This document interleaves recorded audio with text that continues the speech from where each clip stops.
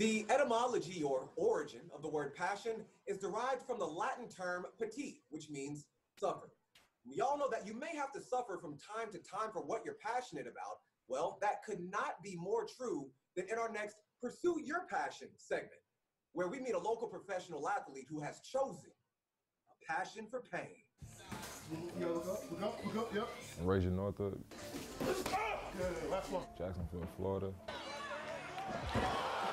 I'm an entrepreneur slash MMA fighter, well, pro athlete, if you want to say, because I do other things too. I've been around the martial arts scene for years. You know, my, my dad, he been, you know, he's a polished black belt, you know, involved in Taekwondo, Aikido, you know, he got some judo background. Now he does uh, BJJ full time, you know. Um, so I've been, I always been around that. So like now it's like football been my whole life. I always wanted to fight, but football is my number one passion.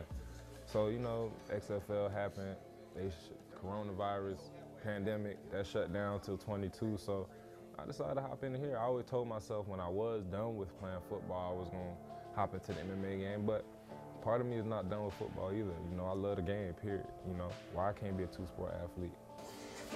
Good, I see it. Yeah, good. it's a newfound passion for, of mine. Like I said, I've been wanting to do it for years, but football is also a passion of mine. But um, now it's here, we're doing it, man. I, I love being in here. I'm in here twice a day, every day. And I got that mentality. I'm a dog. Like it's nobody, it's not a lot of people with the mindset that I have, even the guys in this fight game. You know, and that's what I want to bring to the game along with my technicality, you know what I'm saying, my skill set. You know, a lot of people may think that, you know, I'm just a brute in there, but nah.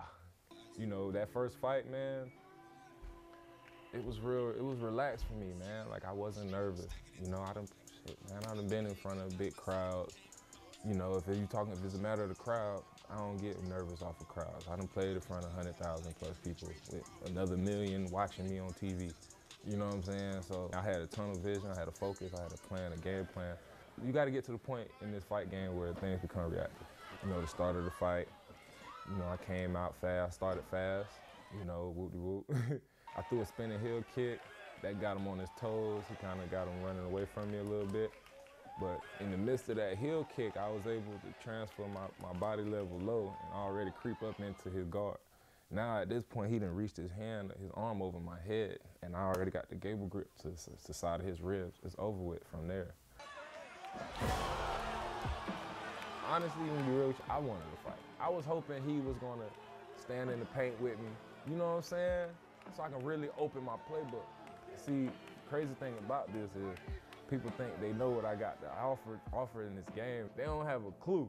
You know what I'm saying? Like I got so much in the playbook, man, that I, that that's efficient. You know, I'm a strong football player, and I'm fighting in light heavyweight, man. Like I'm not downplaying anything, and and first and foremost, I want everybody to understand that I'm not cocky in this game or nothing. I can get knocked out any given day, and I'm aware of that. That's why I come in here and I'm in this I'm in this thing every day.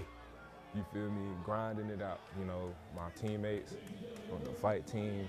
Time 1 minute and 8 seconds in the first round, by submission to strikes, Reggie! I feel free, man. Like, you know, man, I prayed a lot about my situations with my career and stuff. You know, I want to be, a, you know, I still want to be one of the greatest football players ever, you know. Uh, you know, there's been a lot of bumps and bruises on that path, but, you know, I did a lot of praying and, and soul searching, man, and just staying the course, man, and, and this MMA thing, just, you know, I prayed for a sign, and, you know, boom.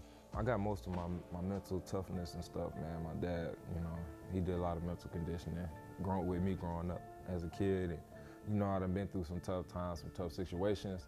And, you know, he's always told me ways to just, you know, just have a mindset, man, process, man, and not ever let nobody, don't ever let nobody, you know, hold you down. Don't ever let nobody control you or, I'm unconquerable. You know what I'm saying? Let's just put it like that. You know, that's one of my favorite, that's one of my favorite words too, you know, coming from Florida State. That's our motto, unconquered. Anybody else in this combat night thing at 205? Don't come my way. It's on. I'm, not, I'm running through the whole city. I promise you that. Y'all know what's up. It's up. It's not a hobby. I'm trying to go to UFC, bro. I'm a competitor. Man, it's going down.